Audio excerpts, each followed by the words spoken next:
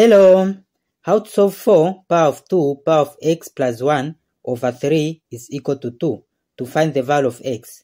So first from this equation, 4 is same as 2 power of 2, then bracket power of 2, then power of this x plus 1 over 3 is equal to 2.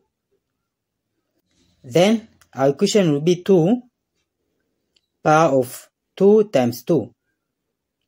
Then power of this x plus 1 over 3 is equal to 2. Then because here we have same base of 2, this 2 is same as 2 power of 1. Then we will compare the powers. So it will be this 2 times 2 power of this x plus 1 over 3 is equal to 1. Then we make this one as same as base of 2.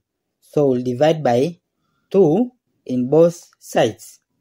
So this 2 and this will cancel.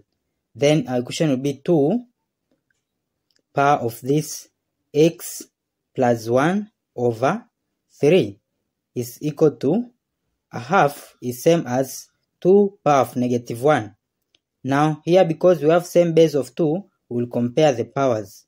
So the powers are x plus 1 over 3 is equals to negative 1, which is same as over 1. Then we'll cross multiply. So this times this is x plus 1 is equals to this times this is negative 3.